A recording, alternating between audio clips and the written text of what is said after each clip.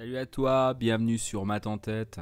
Aujourd'hui de l'arithmétique, on va parler de l'algorithme d'Euclide, l'algorithme des divisions euclidiennes successives qui est destiné à trouver le PGCD de deux nombres.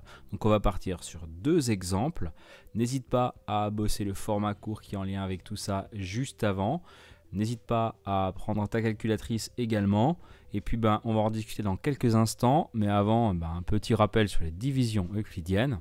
Si vous voulez opérer une division euclidienne sur calculatrice, vous pouvez toujours le faire à l'ancienne. Par exemple, la division euclidienne de 840 par 144, ben, vous faites 840 divisé par 144. Vous prenez le quotient entier, 5.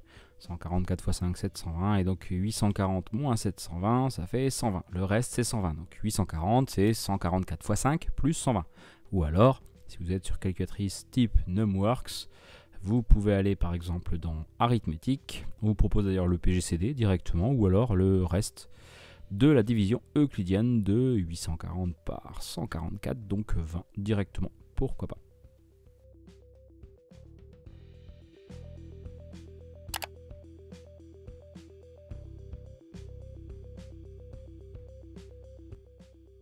Donc c'est parti, comment procéder euh, pour trouver le PGC de 202 et de 138 grâce à l'algorithme d'Euclide.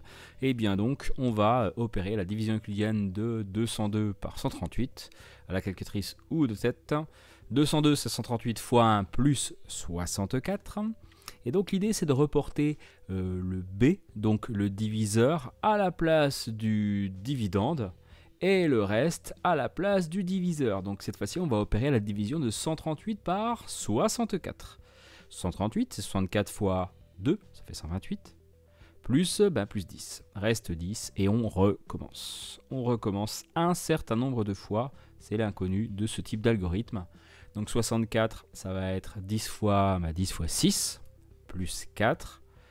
On recommence avec 10 comme dividende et puis 4 comme diviseur. 10 c'est 4 fois 2 plus 2. 4 c'est 2 fois, eh ben 2 fois 2 plus 0. Et dès que vous arrivez à 0, le PGCD c'est le dernier reste non nul obtenu dans l'algorithme des divisions euclidiennes successives. Donc ici, le PGCD de 202 et de 138, eh bien, c'est 2. Ce sont de nombres pairs, certes, mais on ne peut pas faire mieux dans leur liste de diviseurs communs. C'est 2 le plus grand. Alors, sur quoi est basé très rapidement l'algorithme d'Euclide Je vous renvoie la démonstration sur le polycopier de cours disponible sur mathentête.fr.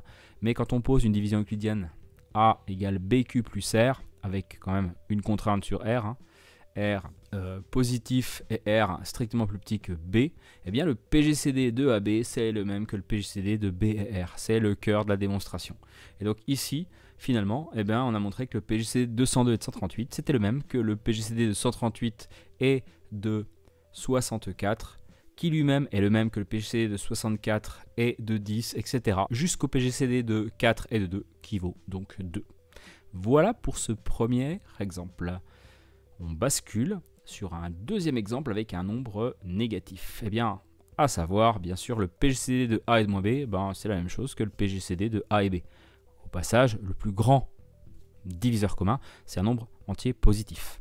Donc le PGCD de 2004 et de moins 9185, c'est la même chose que le PGCD de 2004 et de 9185.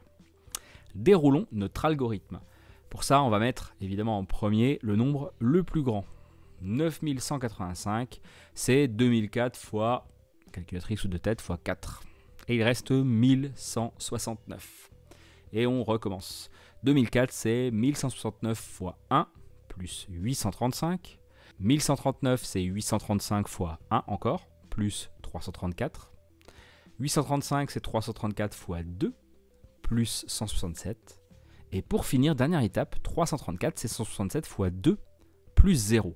Donc ici, le PGCD de 2004 est de moins 9185, c'est 167. 167, c'est le plus grand diviseur commun euh, à ces deux nombres.